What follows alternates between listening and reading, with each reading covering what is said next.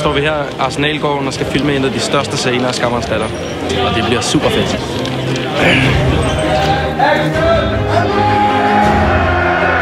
Da mine børn hørte, at jeg skulle være med i Skammerens Datter, blev de fuldstændig ellevilde. Det er en spændende bog, det er en rørende bog, og så er det sådan en klassisk bog om det gode kamp mod det onde.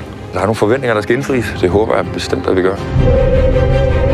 Du har en gave. Det er jo en meget, meget, meget stor produktion, det her. Nogle gange er der 300-400 statister på hver gang.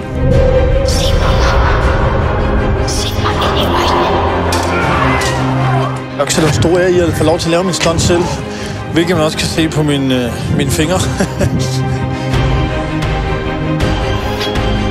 Hvor tit får man lov til at, at være med i noget, hvor der er drager?